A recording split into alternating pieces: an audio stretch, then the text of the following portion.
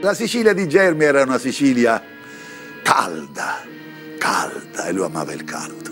Una Sicilia eh, crudele ma affascinante, poetica.